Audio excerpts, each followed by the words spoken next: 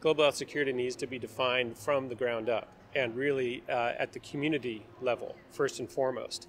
So when we think of global security, that phrase calls to mind the, the level of protection the United States has from uh, infectious disease threats.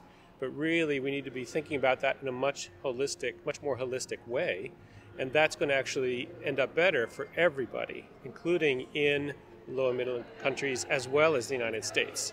So we need to think about all the work that needs to happen to make sure that uh, communities are able to uh, detect uh, a new pathogen should it uh, arise, prevent the transfer of, the, of those um, or uh, spread zoonotic transfer, transfer from animals to humans, be able to detect those and to respond.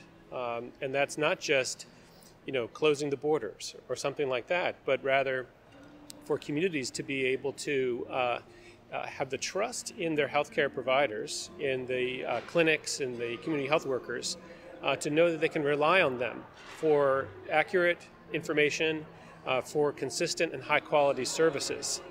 Uh, because what we want to make sure that people are able to do is to get accurate information quickly in terms of how to respond to protect themselves and their family. Um, and that's going to actually further our interests globally. The other thing I would mention global security means to me is equitable access to response technologies. So that's everything from vaccines to diagnostics to um, prevention and treatment technologies. That needs to be available at a global level in an equitable manner.